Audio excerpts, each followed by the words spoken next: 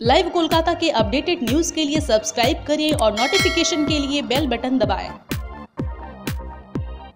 NRS hospital के कुत्तों की हत्या मामले के बाद आज शहर भर में कुत्तों को पकड़कर वैक्सीन दिए जाने का अभियान चलाया गया यह अभियान कोलकाता पौरसभा के द्वारा चलाया गया इस अभियान में डेप्यूटी मेयर अतीन घोष मौजूद थे आज करीब 20 कुत्तों को पकड़ा गया এখান থেকে কুকুরগুলোকে নিয়ে যাওয়া হবে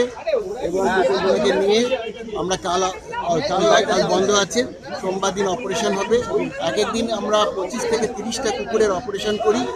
এবং অনেক সময় দেখা যায় পঞ্চাশটাও অপারেশন করতে হয়েছে এবং এবছরে আমরা আহ, পশ্চিমবঙ্গ সরকারের অনুদানে এবং আমাদের স্যার